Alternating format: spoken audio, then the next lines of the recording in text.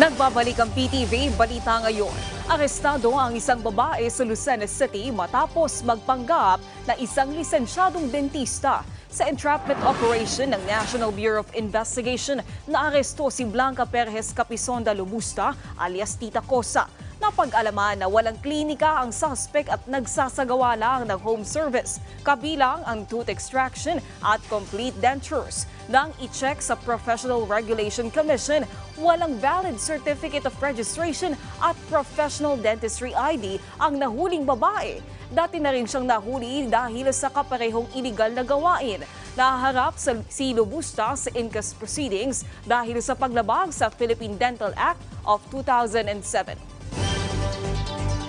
Mas pinagaan pa ng provincial government ng Bohol ang travel requirements sa mga nais bumisita sa kanilang probinsya. Ayon kay Bohol Governor Aris Omentado, hindi na nila ire-require ang vaccination card sa mga turista, liban na lamang kung sila ay may sintomas ng COVID-19. Pinayuhan din na agad magpagamot at i-report ang mga close contact. Layo ng pag-relax sa restriction na makarecover ang lalawigan sa krisis na dulot ng pandemic. Samantala, alamin natin ang iba pang balita mula sa PTV Davao. Magandang hapon, Julius Pacot. Daghang salamat Naomi. Ginapakusog karon sa 10th Infantry Division sa Philippine Army ang Integrated Territorial Defense System pinagi sa People's Organization o barangay-based institusyon.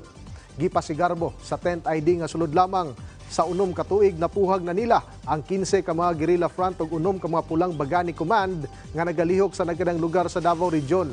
Sa kasamtangan, nag-inusara na lamang nga weekend guerrilla front 15 nga nagalihok sa northern part sa Cotabato ug southern part sa Bukidnon Province ang ginapuhag sa area sa 10th Infantry Division ug target nilang madismantle kini karong tuiga.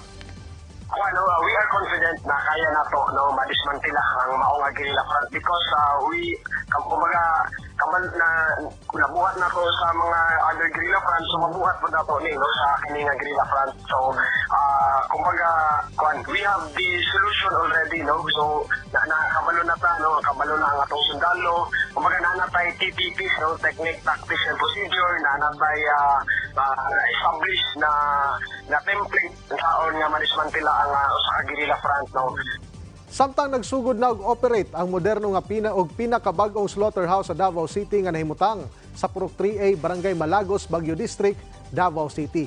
Giinagurahan kini ni atong ad- na milabayng Biyernes, Setyembre 16 ning tuiga. Mga aktibidad gitambungan mismo ni Davao City Mayor Sebastian Duterte nga mga lokal nga opisyal sa city government ug sa National Meat Inspection Services kon NMIS. Ang bagong Malagos AA Slaughterhouse dunay hog holding pen nga kaya maka-accommodate og 200 ngadto sa 500 ka mga baboy kada adlaw. Pwede usab nga ma-recycle ang ginagamit nga tubig dinhi sa litduna kini kaugalingon nga sewage treatment plant alang sa wastewater. Makasiguro usab ang mga konsumante nga limpyo ug luwas nga ikonsumo ang mga karne gikan dinhi sanglit hugtanong ginasunod dinhi ang National Meat Inspection Standards. Ang mong pasilidad gipunduhan og 100 million pesos, din 80 million pesos ang gikan sa NMIS ug 20 million pesos gikan sa Davao City LGU. Ug mao kadto mga nag-unang mga balita gikan dinhi sa PTB Davao ako si Julius Pakot balik kanimo Naomi. Daghang salamat, Julius Pacot. At yan ang mga balita sa oras na ito. Para sa iba pang update, i-follow at ilike kami sa aming Facebook at Twitter account sa at PTVPH. Ako po si Naomi Tiburcio. Magandang hapon.